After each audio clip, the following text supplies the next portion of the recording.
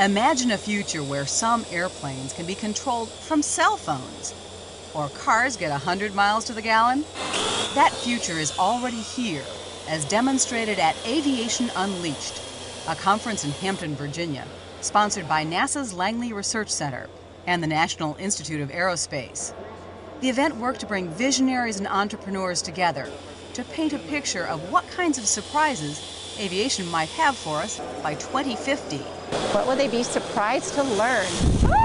that! they will be surprised to learn new technologies such as unmanned airspace systems.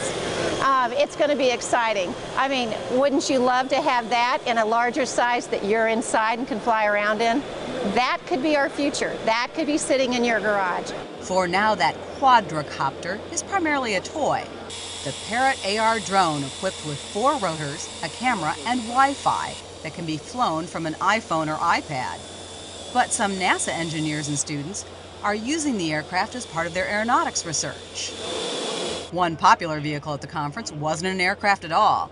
It was the Automotive X Prize winning Edison II very light car that can travel 100 miles on one gallon of gas.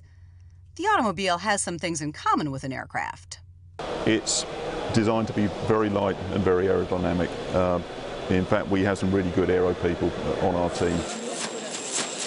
Some future aerodynamicists also gave conference participants a look at their vision. Students from the University of Maryland's Morpheus Lab showcased flying research vehicles that flap like birds.